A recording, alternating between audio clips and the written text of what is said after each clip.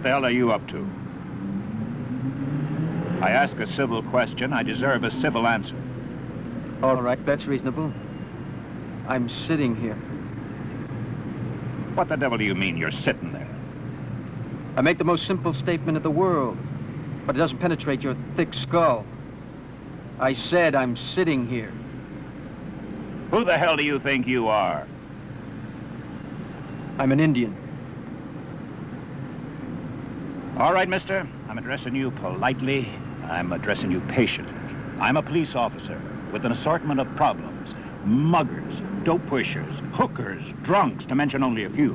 Now, you bring the problem of an Indian in front of the cathedral. I don't need any more problems. I've got it up to here. You give yourself the problem, officer. Oh, no. No, man. You give me the problem, and the problem is you. Now, take yourself up and out of here. No.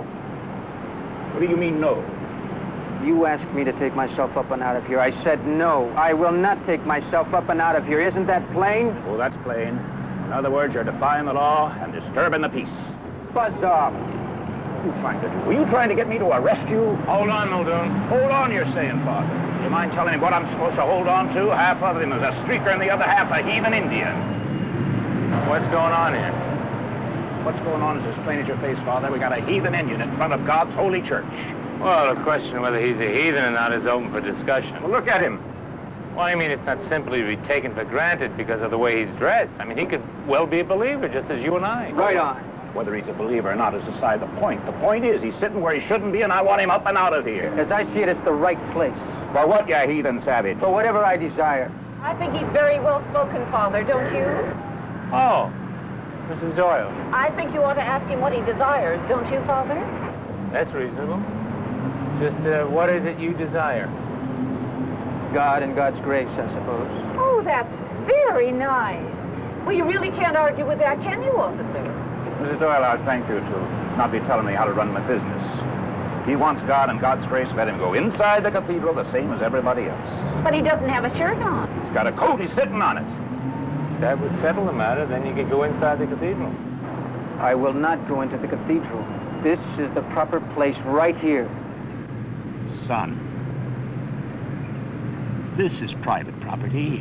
You don't want to be sitting down here with a feather in your hair, attracting a crowd, disturbing honest worshippers. This isn't private property. This is God's property. And since you don't work for God, why don't you get your big blue butt out of here and leave me alone?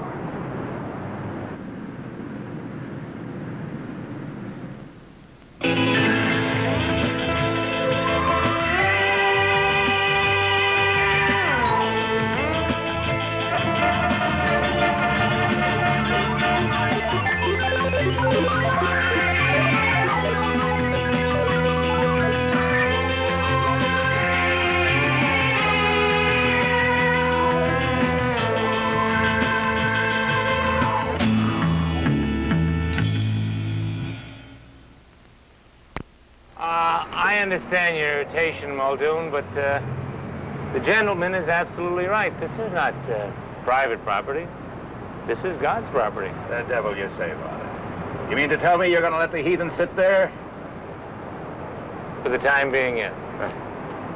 All right, folks, come on, move it along. It's not a circus. Providing, sir, by the way, my name is O'Connor. What's yours? Clyde Lightfeather. All right, Mr. Lightfeather.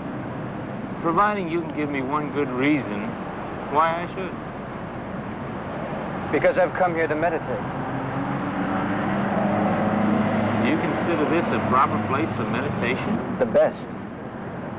The very best. Would you deny that?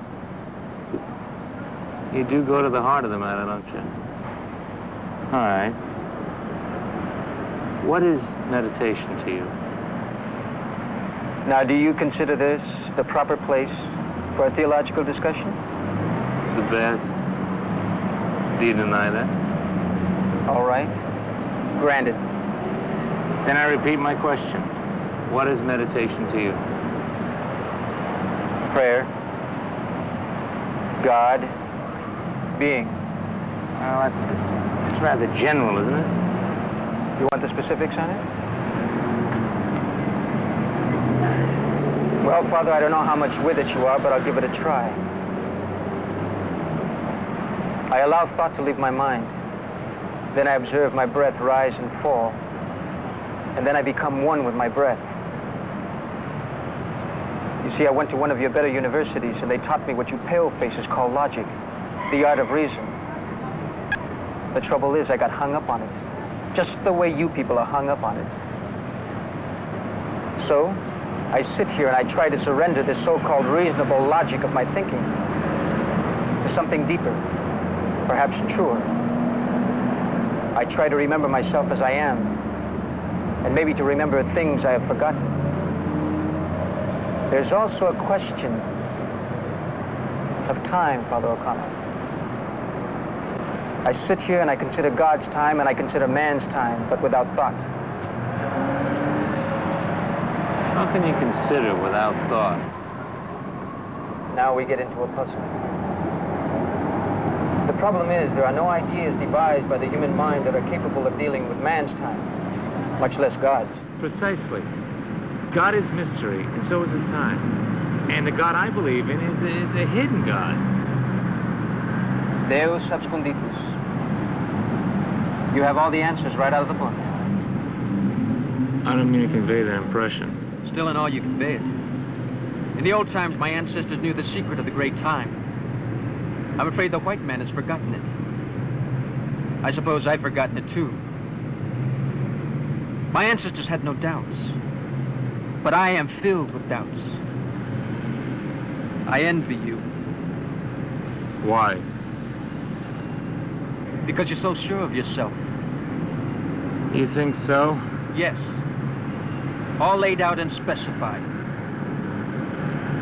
Mr. Lightfeather, are you really an Indian? Yes, sir, right down the line. I'm a full-blooded Mohawk Indian. All right, hold on, hold on, Father. I was raised a Catholic. There's certain things I don't know and certain things I know. You talk to God inside the church, not outside. Why? Provoking question, isn't it? Question is, Father, are you going to let him sit here? For the time being, yeah. Let's just say that I'm... I'll take it to a higher authority.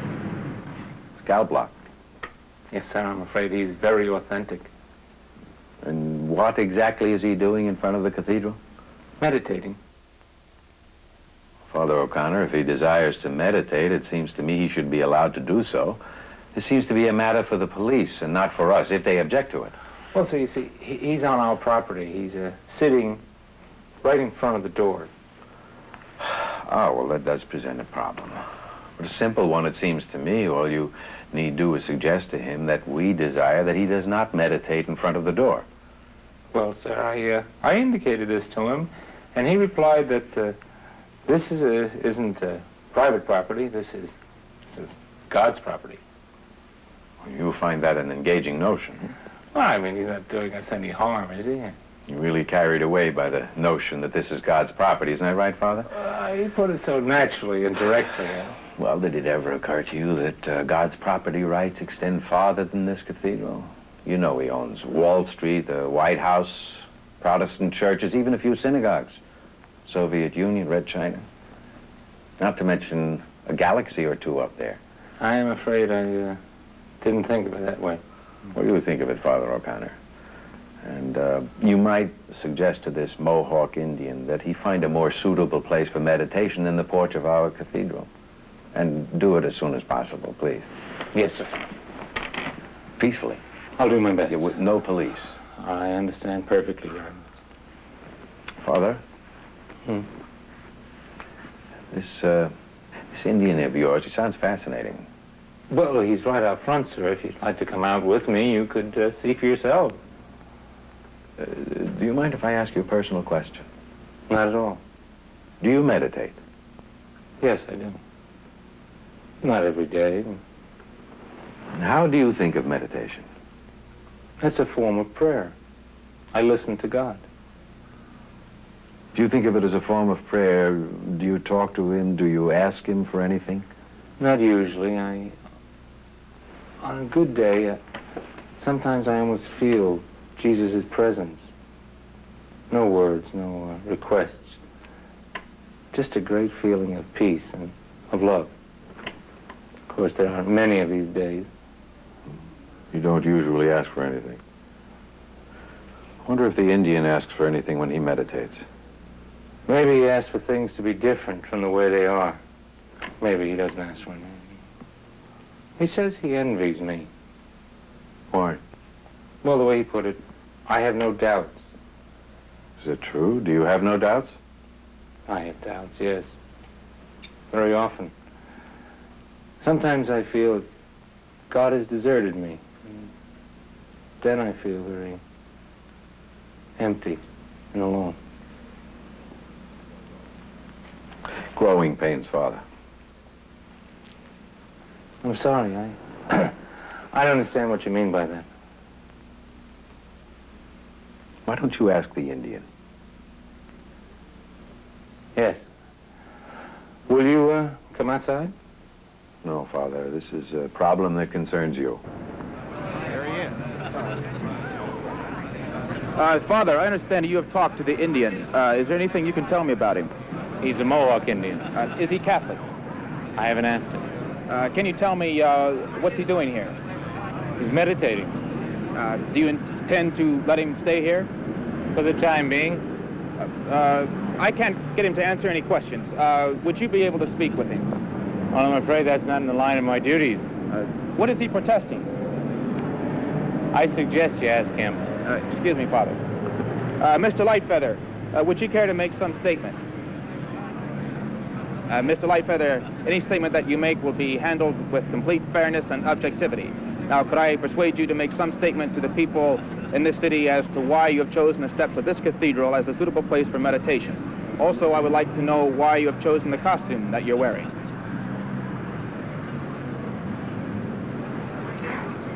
I imagine he's uh, chosen an Indian costume because he's an Indian. That, that seems to make sense. Father, I am past knowing what makes sense and uh, what does not make sense. You have said that the Indian is meditating. Uh, precisely what is meditation? Well, that's a difficult question to answer. Meditation is very much akin to what we call contemplation in our church. That is, a person who meditates, like the contemplative, attempts to put himself in tune with the spirit of the universe, so to speak. Uh, you mean with God? Yes, with the Holy Spirit. It's a deep and mysterious process, and it's not easy to describe. Well, Father, uh, would you mind trying uh, for us to describe how it's done? By calming yourself, by listening, by trying to clear your mind of all thought. You, you try and relax and let go. And if you let go, you drop down into your own depths. Meditation uh, isn't something you make happen, something you let happen. Uh, yes, uh, but exactly what happens? I'm not sure that I follow you. Well, again, that's a something of a puzzle. When you drop down, you get in touch with yourself, and so with God. Meditation is a uh, good way to find yourself. It's a great way to find God. Uh, finding yourself. Uh, I am curious, Father. What does that mean to you? Well, again, that's hard to communicate. I might say that most of us are alienated. We're out of touch with ourselves most of the time. Uh, yes. Uh, well, does your church approve of meditation? Very much. It's a very deep and ancient part of our tradition. Uh, then you would say that he is sincere in what he calls his meditation. I'm afraid I can't speak for somebody else's sincerity. Yes, but you have allowed him to stay on the steps. Well, it's not a question of allowing or disallowing. We've asked him to go. He refused for the time being. Uh, it'd hardly be in the spirit of the church to uh, eject him forcibly. Well, I can understand that if he were in the church. However, out here on the steps... Well, I- it's not a simple matter of where the church begins or ends, is it? That I would know, Father. That's your problem. So it seems, for the time being, that the cathedral will put up with Mr. Clyde Lightfeather. For myself, I find it rather discouraging that a young American Indian with an apparent good education is engaging in such tiresome antics. Thank you, and now back to the studio.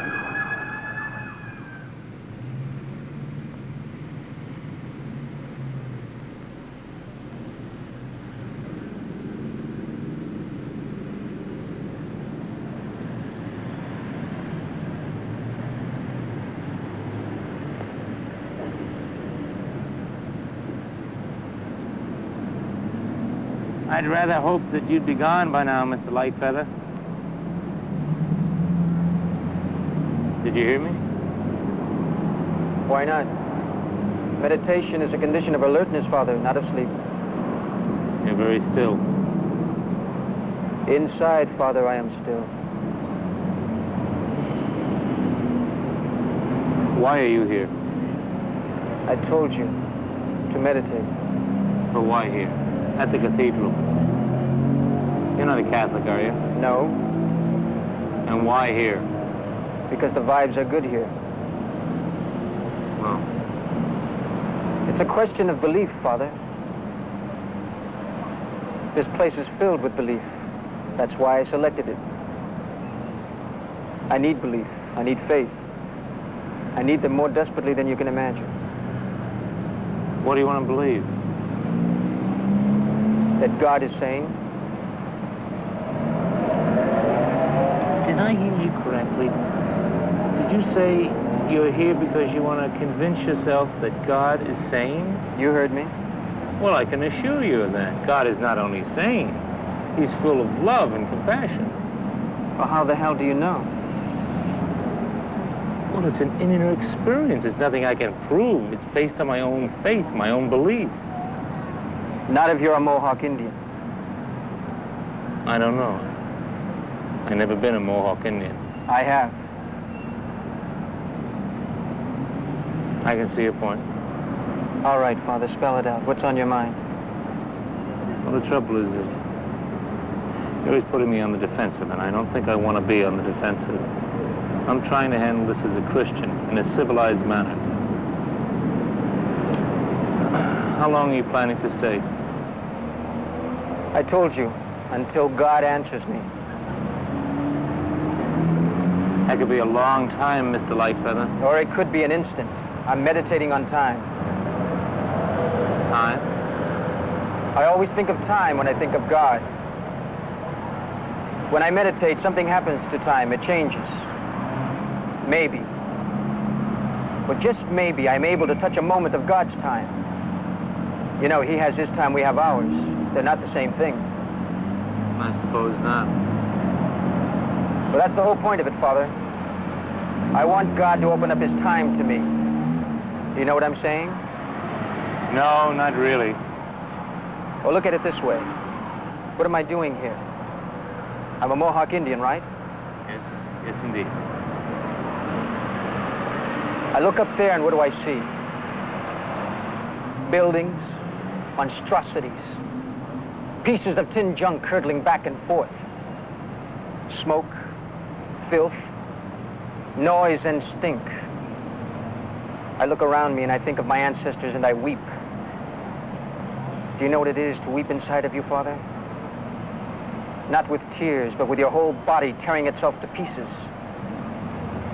I think I know the feeling. And the worst part of it is I got faith laid on me. I believe in God. So do I. I'm a Mohawk Indian. And I look across the street. And instead of the giant trees that were 14 feet at the base and rose 200 feet in the sky, instead of that, and the smell of the leaves and the wet, warm scent of the June earth, what, that, what do I see instead of that? You see a city. It's a concrete jungle. Maybe that's your thing, but it's not mine. I look over there and Con Edison is tearing up the pavement, cutting through a foot of concrete looking for the earth, but the earth is gone. They've put it to death. Well, things changed. Some call it progress. That's the dirtiest word they have invented. I am grateful it doesn't exist in the Mohawk language. What doesn't exist? The word progress. We have no word for it, so we don't have to lie to ourselves. We don't have to kill the fresh air, do away with the trees, murder the animals, litter the place, and pollute the sky. We don't have to dash around at 60 miles an hour in the stinking tin chariot and call it progress. You can't reverse it, you know. That's right. I can't and you can't. But what about God and God's time? I'm afraid you've gone beyond me again, and have to bring it back to the question of how long he's planning to stay here. I told you that until God answers me. I'm afraid that won't satisfy the Cardinal. All right. Let me give it the old school try, and then you can call the fuzz. How about it? Until when? Until morning. Very well, until morning. I'll do as much for you sometime. Mr. Lightfeather, may I put a rather foolish question to you? What makes you any different than anyone else, Father? How can you pray so fervently when you're so, so filled with doubts? That's the crux of it, isn't it? But how could we get to the sunrise if there were no night? How could we get to the light without passing through the darkness? Think about that, my friend.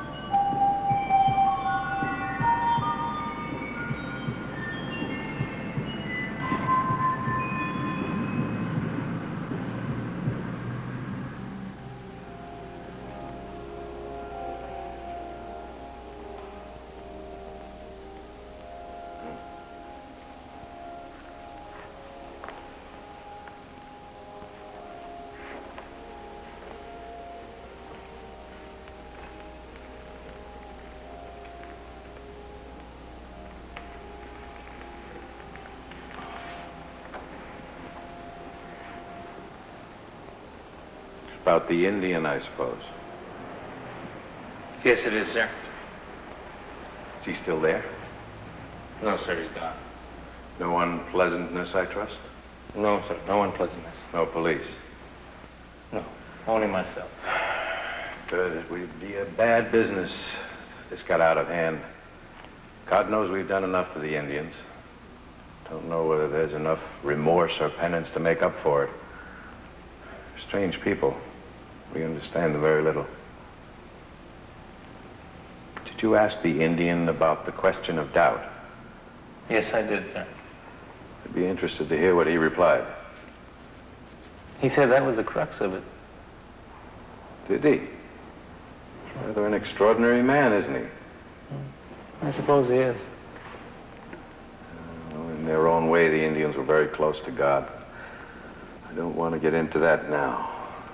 Just say that you handled it very well, Father. Good night.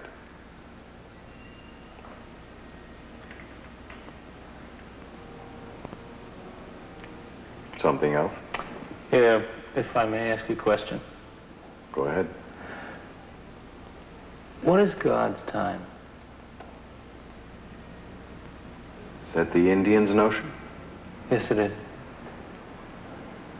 Did you ask the Indian what God's time is? No, I didn't. Well, then I suggest you do that, if he returns.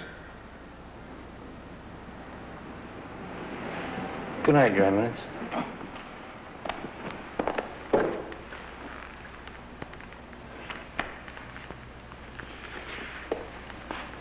What if he doesn't return? Well, then you'll have to figure it out for yourself, Father. Like the rest of us.